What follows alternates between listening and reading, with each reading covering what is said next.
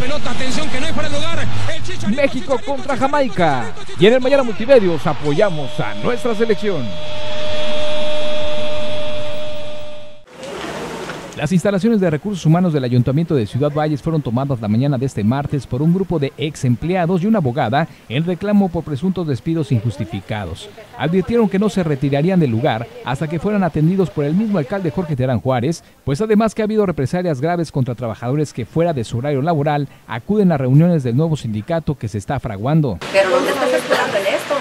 Porque estuvieron yendo a las reuniones hasta que supuestamente usted habló con ellos y les dijo que, que si andaban en esta bronca, no los iba a atender el presidente. Liliana Alejandra Castillo, representante legal del grupo, expresó que este movimiento fue únicamente en aras de lograr una atención directa del presidente municipal para solicitarle que haga una revisión de los tres casos, además de poner un alto a las presuntas represalias que han tomado sus colaboradores contra empleados. Solicitando que se les reinstale nuevamente. Si no hay un porqué o no hay una situación que digan por qué el despido injustificado de estas personas. Con imágenes de Sergio Compeán, información de Georgina Salinas, en Mañana Multimedios. Pisa la pelota, atención que no hay para el lugar.